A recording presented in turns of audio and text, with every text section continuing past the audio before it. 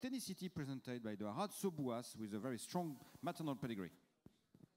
Exactement, une mère qui produit, petite fille d'Ifrage ici, par le désormais confirmé Wooton Bassett, mère petite fille de Kendor. Elle a produit notamment la Comparsita.